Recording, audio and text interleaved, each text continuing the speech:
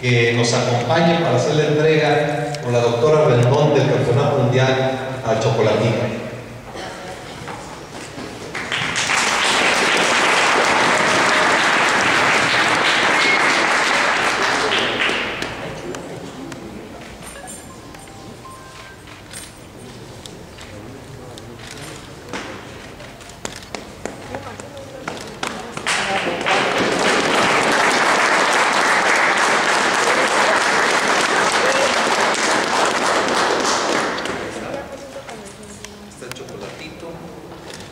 Sun Kilmun, Mohamed Ali, mi papá, Gilberto Román, Chocolatito. Son los dos grandes.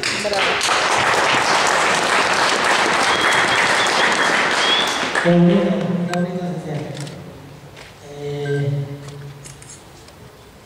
vengo de una familia bien humilde, de abajo, de la semana, mi papá, mis hermanos, mi mamá,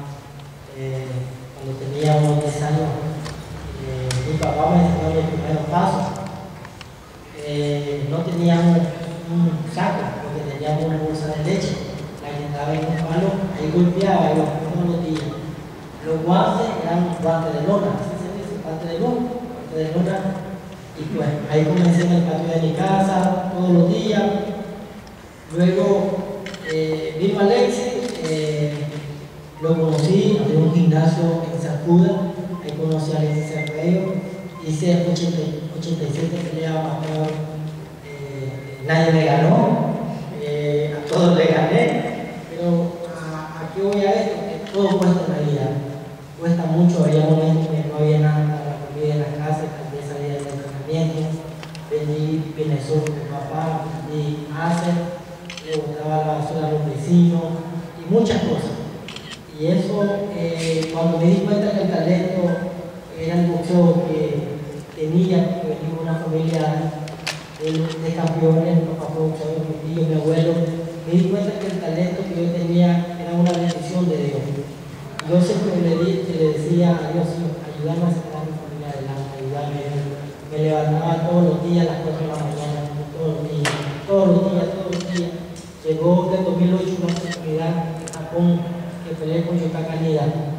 Wow, primer ese día feliz, el 15 de septiembre, le gané una vida, lo logré en Puerto Santo. Ahí comenzó mi vida, algo a cambiar con mi familia. Y lo principal es, cuando uno llega a morir, lo más difícil es mantenerse.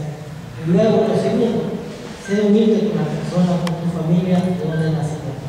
Antes no comía porque no tenía ni para la comida. Y hoy que tengo tampoco no puedo comer porque, o sea, tengo que me bien el peso. え?